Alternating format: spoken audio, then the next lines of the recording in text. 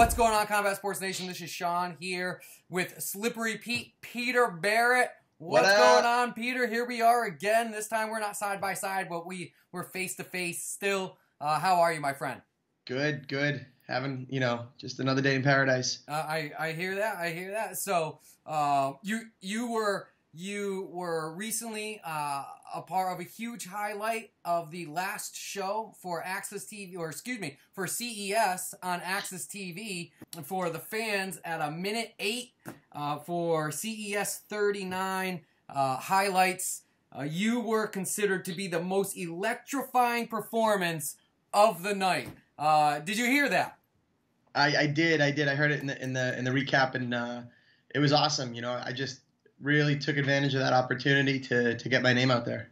What what word would you use to describe your pa- uh, performance against Jeremy Davis? I mean, uh, perf- impressive for sure, electrifying. I mean, since that was thrown out there, that is a great uh, descriptive word. But how would you describe your your your uh, performance? Uh, aggressive, you know, slippery. That's that's what I do. That's how I fight. I, I go, I get out there, and you know, I don't like to waste time. I like to get right to business and, and get out get get out of there just as fast as I got in. You have a fight coming up. Uh, you're the main event, Cage Titans Fighting Championship 32, Plymouth Memorial Hall against Vince McGuiness. I think this is the biggest gap that you've had as far as um, um, your range. He, Yeah. he on on paper, if you look at his stats or his vitals, um, you know, six two, long reach, lengthy guy, but it doesn't necessarily um, uh, show in his fights because he, he sort of sh- fights short. He, he uh, doesn't defend necessarily take down the way uh, you would think a tall, lean, lanky, a lot of leverage guy would. Uh, what more do you know about Vince? Um, his wrestling sucks. he gets taken down at will. He he fights with his hands low. I mean, I'm going to I'm going to attack his weaknesses, and I don't think his reach or his length or his jab or or any of that is really a strength of his. I don't think he knows how to use his length. So I'm just going to expose him and uh, take advantage of the opportunities how I see him. Has there been anything in training that Um, sorry, Max is right here. I'm just telling him no. and, and yeah, I mean, I, I am very critical. I'm very critical of, of my performances. So I'm always, uh, you know, watching my film and looking at things that I want to improve. You know, for me, all I really want to do is fight the way I train, and until I reach that level, I'm I'm gonna be constantly grinding and working and doing what I see fit to get to the next level. during your training was there anything that you saw in your opponent that you had to sort of tailor a little bit of what he might bring into the cage for you for your game plan for your training? Uh, no, not really, because you know, being at Sityodtong and that being my home camp, um, we have next level guys in the gym all the time. So Tony Martin's been getting ready for a southpaw, and I've been getting ready for a taller ortho. So it's kind of worked in both of our favors, where I was the go-to guy to push Tony because I'm a southpaw and can can really mimic the style of his opponent, um, who he's fighting this Sunday on Fox Sports One. That's There we go. Nice There's plug. the plug. Hashtag And, UFC uh, Phoenix. So it just so happened to work out perfectly. You know, like you take fights that that feel right. You take fights that you know you, you trust on the people that are making the decisions, and it just everything came together, and and there was like a nice little synchronicity that I've noticed where this fight. Yeah, I was already working with Tony to get him ready, and this just happened to fall into my lap. So I haven't tailored anything for him. Um, I was just already mimicking someone else for Tony. McGuiness is a is a righty, and I we we reviewed a film where he was fighting a southpaw, and he didn't know how to move with a southpaw, and if you know that was a fight from a couple years ago, so those things very easily could have changed, but. If I'm looking at everything else in his game that he hasn't worked on, I doubt fighting against a southpaw was what he really worked on over the past couple years. He's gonna sit right in front of my excuse me, he's going to sit right in front of my my heavy left, and you know, he has low hands. So if I close the distance really quick and touch his chin, he's going to sleep. um, you know, and and really watching that film of him not circling and not fighting for the outside gives me confidence in the fact that you know that's one of my priorities when I'm fighting someone in the opposite stance, which is all the time because everybody's ortho. Um, mm-hmm. So it just it, everything just it, for me in the in what I've watched and what I've seen, I'm gonna eat him alive. He already lost the fight, you know, just out of his style alone. I mean, I'm watching his film thinking, oh great, I'm gonna I'm gonna I can exploit him there. I can exploit him there. I can exploit him there. I can only imagine what the hell he's thinking when he watches my fight. he's going, "Oh man, I like to go three rounds. This kid fucks people up. I got to keep that hand a little bit lower so I can have my dinner for lunch. Excuse me, my liver for lunch. You know. So I, it doesn't change the way I go in there. I push the pace. I push the pressure. I'm gonna chase him down. I'm gonna stalk him down. I'm gonna take him down and I'm gonna put them out. You know, I can we stand in the middle and bang and, and, and put on a display and an absolute firefight? Fuck yeah, we can, and we probably will. But I'm probably gonna take him down and knock him out. So I was doing a little research on him, and I came across an interview, or an, oh yeah, an interview or an article that was written about him, and he actually uh, went out to Team Alpha Male a few years ago and was training out there. That's when he met Duane. I think he moved to California on a short stint or something and then moved back to Florida. But while he was there in Sacramento, he was training under Duane. That's where he met him. That's how they got affiliated. He actually, that might have been the same time Rob was out at Rob Font was out at Team Alpha Male because they actually know each other. Okay. Um, but I've been to Team Alpha Male. I was out there when Chad Mendes got the call to fight Conor McGregor. So um, it's just, I, it's kind of, I found that peculiar that we were both out at Sityodtong I mean, excuse me, out at Team Alpha Male, got affiliated or learned under Duane. I mean, I've been out to Colorado this past summer when I was visiting some friends, and I trained at Duane's school. Uh, so, I mean, we have where we've been and who we've trained with is very similar, which is very interesting. Everybody wants a quick knockout. Everybody wants the finish. Yours has been your five of your seven have happened in the first. Uh, has that just been because of um, Eh, that's just the way the fight happened? Or was there some things and some some holes in your opponent's game that you were like i'm gonna exploit it. It's gonna happen quick. I'm in out and in the crowd with my fans the latter definitely. I mean I, I like to describe it as highly calculated violence and you know i go in there to get out of there as quick as i walked in you know? I don't i'm not here to play patsy cake or beat around the bush. I like to get right to work. I mean, it's, it's a fight. Who fighting like kind of sucks. You don't want to be in a fight longer than you have to be. You either go in there, show the dude what's up, knock him out, finish him, and get back to living your life so you can get back to training. I mean, for me, I don't want my fight to delay me from getting back into the room. Mm-hmm. I want to take like a week off, two, let everything heal, let, let all the swelling go down from the fight, and and get right back to work. If if I go in there and it's a three round battle and I've got stitches and contusions and my shins are banged up, my feet are banged up, my eyes are cut, my lips are swollen, then you know there's going to be a little more time off and I'm going to have to rest and let everything heal before I get back into working the way I want to work. So it's definitely an in and out mentality. Get in there, establish dominance, break his will, make him submit via verbally, mentally, medically, whatever you want to call it, whatever excuse they've used to get out of the cage with me. They they feel the pain and they feel my pressure and they don't like it. And one of the the biggest difference with the fighter today and the fighter of past is not necessarily just training hard, but training smart.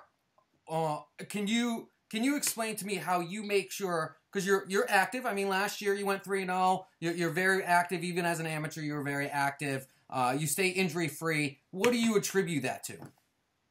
Smart, training smart, not being a knucklehead, not, you know, leaving the ego at the door. Nobody's going into the room to knock someone else out.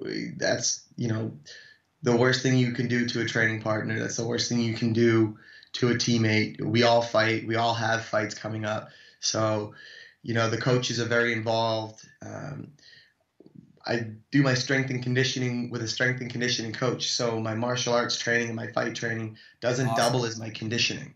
Nice. I'm already working on that in the morning, and then I'm doing my sports specific stuff and my martial arts at night. So I, I don't rely on going extra hard in the room to get me ready for my fight physically and cardio and conditioning wise. I've got ga- I've got a gas tank that can run for days. I do like a half hour of interval sprints twice a week. Mm. You know what I mean? Like it, I don't because I can rely on my gas tank. I don't have to train like a knucklehead, Mm. Mm. and it's just very well managed by our team. if you had the newest fighter walk into your gym who who, who didn't say, you know, I want to try MMA out or it's something I want to cross off my bucket list, but it was somebody who had the same passion as yourself to become a champion. What is what is something as advice with training that you would that you would give them? What what is, what is like the top couple things or what is the top thing that you'd say, okay, you want to be a world champion, you're not here just to fight on the undercard or but you want to go to the next level. I think you're a great example to be able to. you- You're almost there. So, what is the advice that you give somebody who'd want to get to where you are? And then we'll talk about what's the next step. Um, I think most importantly is if you want to do it, do it 100%. You know, you can't just walk into a room and say, "Oh, I want to be the toughest guy in here," and think that that's going to happen. You're going to be humbled really quick. You know, you can bring the ego out when when you get into the cage, but inside the room, it's not about it's not a dick measuring contest. We're all there to learn. We're all there to get better. So you got to be, you know, you can't be too humble but you got to be humble. You can't be you can't give too much respect, but just enough. It, it's you know it's not easier said than done, but it's easier to see than it is to explain, um, because you you you need to be training with the tougher guys because that's the only way you're gonna learn.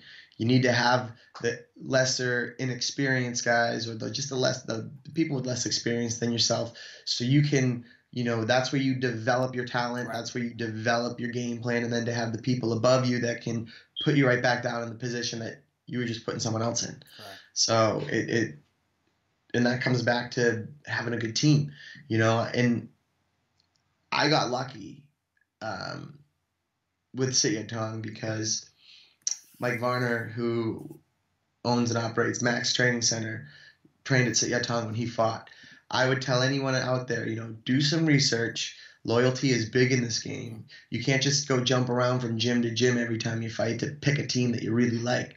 If this is something you want to do, invest some time into it. Do some research. See what teams are fighting on all the big regional scenes. See what fighters. Find a fighter that you like. Follow him. See where he trains, and then maybe you know go do a free week there. But do some research and make sure you want to get into it. But and then don't bite off more than you can chew. You know, if you're if you're an amateur, don't make weight cutting weight part of your part of your battle.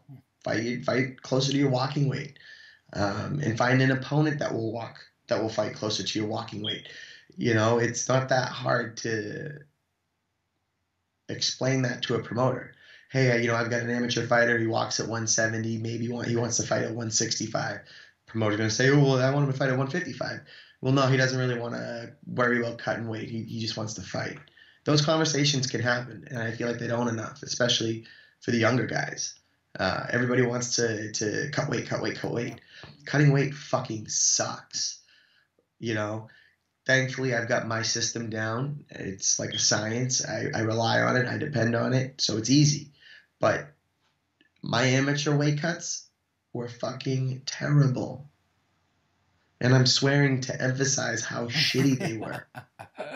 Okay, cutting weight when you're fat, when you haven't done enough for the last four to six weeks, sucks. It it's physically harder for you to sweat when you have to sweat through fat. yeah. If you have less body mass, less body fat, you can sweat real quick. Yep. So if you're if you know if you're chubby because you were eating Twinkies after training and having ice cream on the weekends and drinking beer with your homeboys up until a week ago, cutting weight's going to be really difficult. You, you have the mindset of you don't have to get ready if you stay ready. Uh, unfortunately, there's a lot of fighters that say, once I get there, then I will eat cleaner. Once I get there, then I'll cut out some of the part. Once, t- tell me, tell me what your mindset has been to to make that transition to saying I'm one fight away. Not it is not a pipe dream for Peter Barrett to potentially be one fight away. What has gotten you to that point as far as your mindset? Well, one thing I do is I am more, recently um, acting as if I'm already there, getting the lifestyle down, making the commitments to myself. Uh, you know, this is a conversation I was just having with Ariel at team training on Tuesday, and you know, I can't, I can't say I'm gonna, like you said, I can't say I'm gonna do it when I get there because right. I'm not committing to that lifestyle. I need to commit to that lifestyle to prove to myself that I am going to get there. You know, it's making sure that my diet's in check. It's making sure that I'm keeping my weight right around, excuse me, right around 170. Um, you know, one of my goals is to get my walking weight to 165. And to, I mean, to be honest, that's what I weigh right now, and I'm two weeks out from fighting at 155. And I'm 10 pounds overweight. I can do that in two days. I can make weight tomorrow if I had to, and it's 10:30 at night. You know, it's it's just being prepared and, and getting everything in place so when the opportunity comes it's you don't have to scramble to make it work. You know it's making sure you're putting in the time you're being consistent you're being regular with your coaches you're being uh, you know always in conversation with your manager with promoters making sure that your name's at the top of their list when they're looking for someone. Um, uh, you, making the changes career wise so you can train more. You know, that's something that I'm dealing with right now. It's it's put a lot of stress on me, but I feel like I am at that position. So if I want that lifestyle, I need to make the changes for that for those things to come back to make their their way into my life. And until I do that, I think I'm really holding myself back, and that could be a mental barrier. But um, you know, I have convinced myself that I need to be training full time focusing on fighting full time to get there. And once I make that leap, it's going to make everything a lot easier because it, it won't be there. The fear of doing it won't be there because I'll already be living that lifestyle. I'll already have made the changes.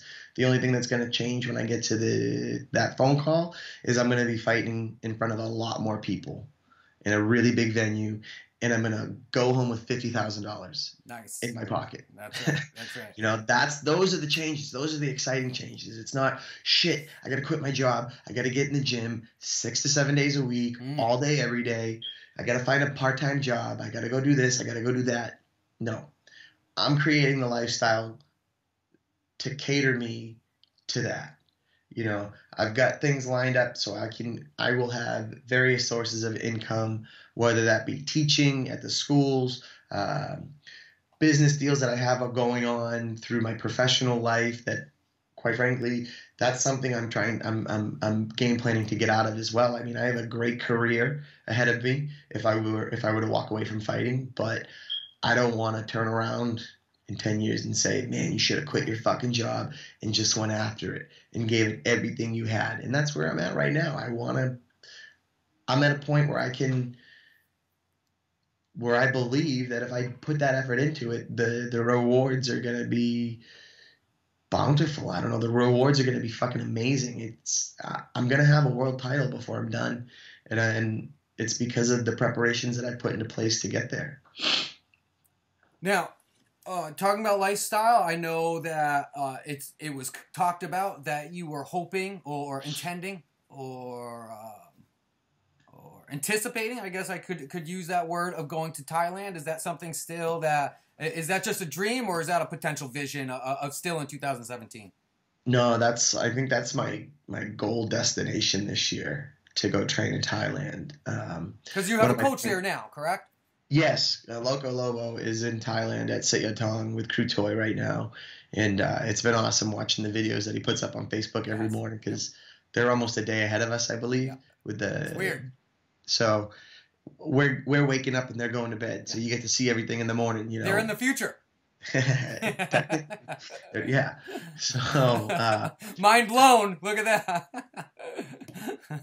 I was, and, and it's funny because I was just talking to one of my friends from Colorado, you know, talking to MMA and whatnot, and he's saying, oh, you know, make sure you branch out. You got to go learn elsewhere. You know, get a couple different looks. And he had some ideas, and we were just shooting him around. I said, you know, I think this is the year I'm going to go to Thailand in, in maybe two to three weeks, maybe a month. If I could do a, if I could save to, to do a month in Thailand, I think that would be fantastic and be the, the chance of a lifetime. You know, an opportunity you never get back. And, it, and if I wait to do it, it's not going to be the same as doing it now when I'm young, in shape, and can really take advantage of the training and, and, and put it back into my craft.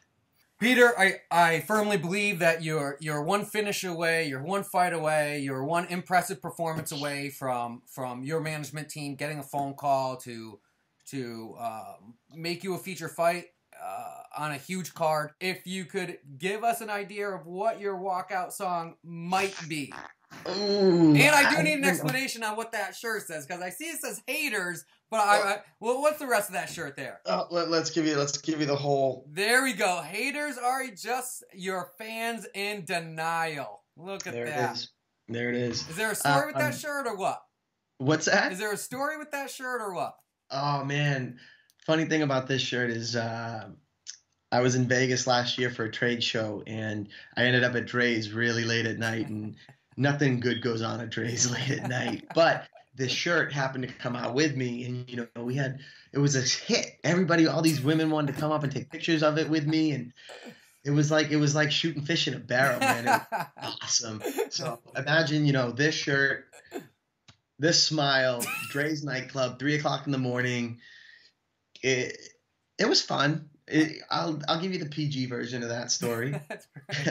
I'll, I'll, get the slippery version later on from you. Yes, absolutely. yes. Well, what can the what can the fans expect? What what could that walkout song be?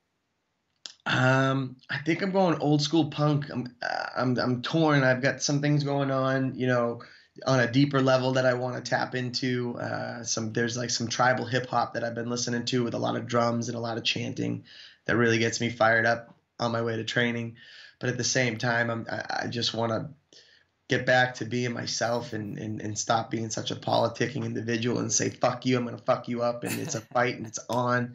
Um, I don't give a fuck about you or where you come from. It's my night and it's my time. And uh, that's how I came into this game. That's That was my mentality when I started. And I've humbled myself over the years, but at the same time, I'm here for me. You know, I'm, I'm I'm, I'm my own biggest fan for a reason, and it's because I trust in what I do, and I'm here to fuck people up.